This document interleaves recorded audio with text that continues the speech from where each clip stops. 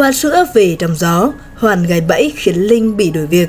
Phòng người quân tử ai phòng được kẻ tiểu nhân. Sau khi gặp phải Phương Tiểu Nhân như em Hoàn, miệng tháo mai bùng bổ rau găm kia, thì vấn đen bắt đầu ập lên đầu của Linh.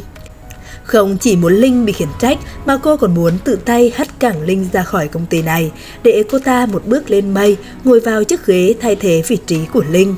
Nhìn em Hoàn thảo mai hám cảnh cạch kia, vẻ ngoài nhìn non cùng ra dáng là một người tử tế, vóc sắc cùng có đến nối nào đâu. Nhưng có lẽ nào em này đã bị chó tha bụi rậm còn đâu. Gặp sếp thì đòn thả một dạ hai vâng, sống ngoài mặt lúc nào cũng một chị hai em nghe ngọt như nước xào chó vậy. Nhưng bên trong của ả lại là những sự ghen ăn tức ở chẳng thể nào nguôi. Khi nhìn thấy Linh luôn được lòng sếp rồi công việc lúc nào cũng được suôn sẻ. Khách hàng cứ thế mà nườm nượp, doanh thu tháng nào cũng vượt mình.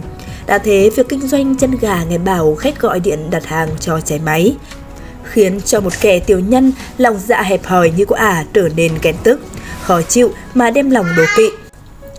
Đá không ăn được thì đạp đổ. Cô ta bắt đầu thu âm chụp hình những việc làm ngoài giờ của Linh để làm bằng chứng gửi lên xếp tổng rồi dùng những từ ngữ soi mói kiểu chị Linh dạo này thấy bảo việc kinh doanh ở nhà trôi chảy lắm sếp ạ nên cứ tới cơ quan là chị cứ bỏ bê công việc chả muốn đóng góp cho công ty nữa. Rồi là những câu bịa đặt tài loại như là chê bai công ty lương thấp chị chán chả buồn làm sắp tới chị ấy sẽ nghỉ việc. Để rồi chính những câu nói bịa đặt thêm mắm thêm muối đó của cô ta đã đồng tới lòng tự trọng của sếp, khiến ông vô cùng tức tối.